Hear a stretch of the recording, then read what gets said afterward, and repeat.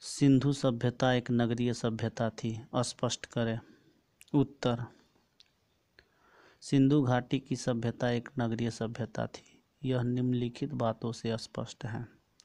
इस सभ्यता में नगरों में सड़कों का निर्माण किया गया था, जो एक दूसरे को समकोण पर काटती थी और चौराहों का निर्माण करती थी।